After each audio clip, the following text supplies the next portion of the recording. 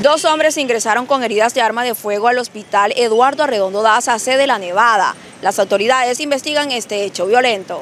Según las versiones de los lesionados que fueron identificados como Neiser Navarro Payares de 25 años y residente en la invasión Altos de Pimienta y Jovan David Jiménez Márquez de 24 años, transitaban en una motocicleta por el sector El Futuro, cuando sin mediar palabras fueron atacados a tiros por sujetos desconocidos que rápidamente emprendieron la huida. Navarro Payares presenta una herida en el hombro derecho y Jiménez Márquez una herida en el muslo de la pierna izquierda. Las autoridades se encuentran investigando el hecho para esclarecer lo sucedido.